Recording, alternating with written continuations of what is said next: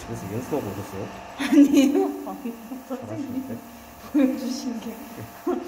실제 자동차는 이렇게 치래요, 진짜. 아, 그래요? 예. 아, 이렇게 이렇게? 그러니까 전체적으로 싹 돌려가면서 이제 약간 광나게 해줘야 하니까 자동차 엄청 큰데. 어떻게 쳐야지? 이 사이즈니까 이제 쉽죠. 이렇게. 쭉, 조금만 천천히, 조금만 천천히. 반 박자. 쭉 갔다 오고. 음, 그런 식으로. 음, 잘하고 있습니다.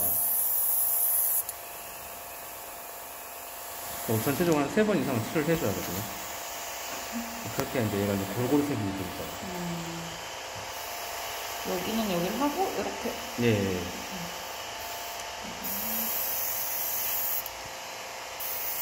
정도 이렇게 해주고. 네, 지금처럼 해가시면 돼요.